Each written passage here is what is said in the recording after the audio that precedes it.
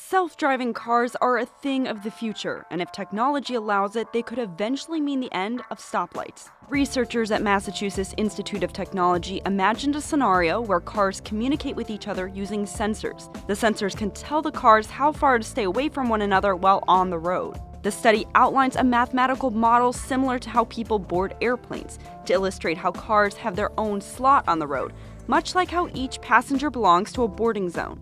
A steady flow at a slower rate could allow drivers to get to their destinations quicker and relieve bottleneck situations at a stoplight. But this means controlling the speed of cars and how they group up at intersections. A co author of the study suggests by decreasing the speed of a car before the intersection, it would line up with its slot, and cars would be able to pass through intersections without having to stop. Researchers acknowledge the study has to wait for technology to catch up, but believe their theory could benefit the transportation system as a whole by allowing up to twice as much traffic to use the roads.